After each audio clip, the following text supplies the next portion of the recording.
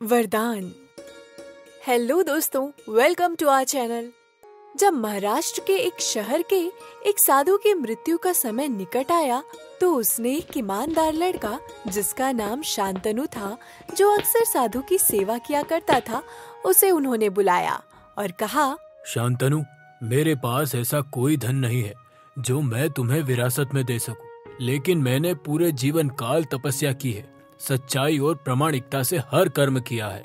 साधु महाराज, मुझे कुछ भी ऐसी चीज़ों की लालसा नहीं है। मुझे आप आशीर्वाद दीजिए, जिससे मैं अपना जीवन दूसरों की मदद करने में बिताऊं। मैं तुम्हें वरदान देता हूँ कि तुम जीवन में बहुत खुश रहोगे, और अगर तुम धूल को छू लोगे तो वह सोना बन जाएगी। शांतनु ने अपना सिर झुकाया और साधु के पैर छुए। साधु ने उसके सिर पर हाथ रखकर वरदान दिया। और संतोष के साथ अपने प्राण त्याग दिए।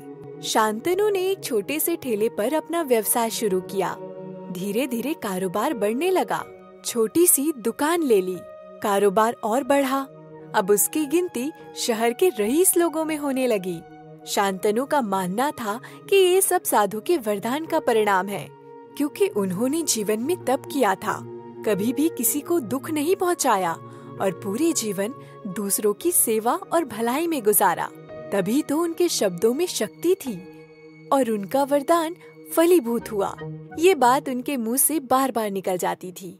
एक दिन उसके एक मित्र ने पूछा, साधु में इतनी शक्ति थी तो वह स्वयं समृद्ध क्यों नहीं हो गए? मैं साधु की शक्ति के बारे में बात नहीं कर रहा हूँ। मैं उनके वरदान की शक्ति के बारे में बात कर रहा हूँ। चलो ठीक है, मान लिया। क्या तुम मुझे इसी प्रकार का वरदान दे सकते हो? नहीं, मैंने अभी जीवन में ऐसा कुछ नहीं किया है, जिससे मेरे वरदान में इतनी शक्ति हो। तुम तो बस बार बार साधु के वरदान की बात करते रहते हो। तुम्हारा नाम तो साधु का वरदान होना चाहिए था, जो तुम ठीक समझो। मैंने तुम्हें साधु का वरदान कहा, बुरा नहीं लगा। नहीं, क्योंकि मैं साधु के वरदान के योग्य बनना चाहता हूँ। ऐसा करते करते कई साल बीत गए। शांतनु ने विदेश में भी व्यापार करना शुरू किया। वो जहाँ भी व्यापार करता उसे बहुत लाभ होता। एक बार उसके उसी मित्र ने कहा मैं जो भी व्यवसाय करता हूँ मुझे तो लाभ ही होता है। तो अच्छा तो है परेशानी की क्या बात है? एक बार हानि का अनुभव करना चाहता हूँ। हानि का अनुभव? मुझे कोई ऐसा व्यापार बताओ जिसमें मुझे घाटा हो। मित्र को लगा उसे अपनी सफलता और दौलत पर घमंड हो गया है। उसके मित्र ने सोचा कि उसका अभिमान दूर करने के लिए क्यों ना मैं उसे ऐसा धंधा बता दूँ कि उसका नुकसान ही हो जाए। तो उसने शांतनु से कहा तुम भारत से खजूर खरीदकर जहाज़ में भरकर अफ्रीका के नखलिस्तान में बेच दो। ये सही कहा तुमने। नखलिस्तान खजूर का देश है। वहाँ से व्यापारी खजूर भारत लाते हैं और यहाँ आठ दस गुना कीमत पर बेचते हैं। अगर आप इसे भारत में खरीद कर नकलिस्तान में बेचते हैं तो इसमें साफ़ तौर पर घाटा होता है। शांतनु ने निश्चय किया कि वो भारत में खजूर खरीद कर खुद नकलिस्तान में ले जाएगा। नुकसान को महसूस करने के लिए उसने भारत में खजूर खरीद लिया और उन्हें एक जहाज़ में लाद दिया और खुद नकलिस्तान पहुँच गया। नकलिस्तान में एक राजा का राज्य था। शांतनु जहाज़ से उतरा और वहाँ व्यापारियों से मिलने के लिए एक लंबे रेतीले रास्ते पर जा रहा था। शांतनु ने देखा कि सामने से एक राजा रूपी व्यक्ति पैदल सैनिकों के साथ आ रहा है। उसने किसी से पूछा, ये कौन है? तो उन्होंने कहा कि ये एक राजा है। राजा ने उसे सामने देखकर उसका परिचय पूछा। आप कौन है? मैं भारत के महाराष्ट्र के नागपुर प्रांत का एक व्यापारी हूँ। यहाँ क्या करने आए हो? यहाँ व्यापार करने आया हूँ।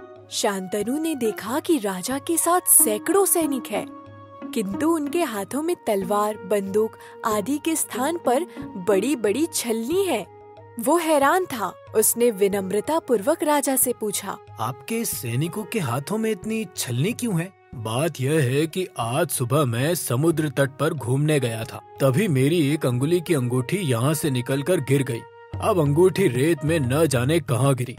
इसलिए मैं इन जवानों को अपने साथ लेकर आया हूँ। वे रेत में छानबीन करेंगे और उसमें मेरी अंगूठी को ढूंढेंगे।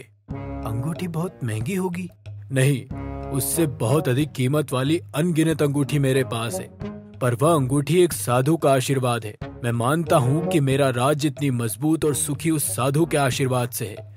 इसलिए मेरे मन में उस अंगूठी का मूल्य राज्य से भी ज़्यादा है। सेठ, इस बार आप क्या माल लेकर आए हो? खजूर। खजूर? यह तो खजूर का ही देश है, सेठ। यहाँ खजूर बेचने आए हो। किसने आपको ऐसी सलाह दी? ज़रूर वह कोई आपका दुश्मन होगा। यहाँ खजूर को कौन खरीदेगा? और तुम क्या कमाओगे? शांतनु ने कहा कि मुझे यही देखना है कि यहाँ लाभ होता है या हानि। साधु के वरदान से आज तक मैंने जो धंधा किया, उसमें मुझे लाभ ही लाभ हुआ। तो अब मैं देखना चाहता हूँ कि उनके वरदान यहाँ भी फलते हैं या नहीं। साधु का वरदान? इसका क्या मतलब है? एक साधु जिसकी मैं सेवा करता था। उन्होंने अपने प्राण त्यागते समय मुझे वरदान दिया था कि तेरे हाथ में धूल भी सोना बन जाएगी। ऐसा बोलते बोलते शांतनु नीचे झुका। राजा के सामने मुट्ठी खोलकर उंगलियों के बीच में से रेत नीचे गिराई तो शांतनु और राजा दोनों के आश्चर्य का पार नहीं रहा। उसके हाथ में एक हीरे जड़ित अंगूठी थी। ये वही राजा की गुम हुई अंगूठी थी। अंगूठी देखकर राजा बहुत प्रसन्न हो गया। फिर राजा ने उससे बोला वाह भगवान आपकी लीला का पार नहीं। आप साधु के वरदान को सच्चा साबित करते हो। राजा खुश हुआ। शांतनु को गले लगाया और फिर कहा मांगो सेठ आज तुम जो मांगोगे मैं तुम्हें दूँगा। आप सौ वर्ष तक जीवित रहो और प्रजा का अच्छी तरह से पालन करो। प्रजा सुखी रहे। और तुम्हें मोह मांगी कीमत देता हूँ। कहानी से शिक्षा मिलती है कि आपके पास किसी साधु या संत या फिर माता पिता का वरदान हो तो दुनिया की कोई ताकत कभी भी आपको पराजित नहीं होने देगी। तो दोस्तों, कैसी लगी आपको आज की ये कहानी? उम्मीद है बेहद पसंद आई होगी। तो हमारे इस चैनल को सब्सक्राइब करें और आगे आने वाली कहानियों को सबसे पहले सुनने के लिए बेल आइकन को ऑन करना ना भूलें। हमारे इस वीडियो को लाइक करें, अपने दोस्तों के साथ शेयर करें और अपना वैल्यूबल सजेशन कमेंट करना ना भूलें। धन्यवाद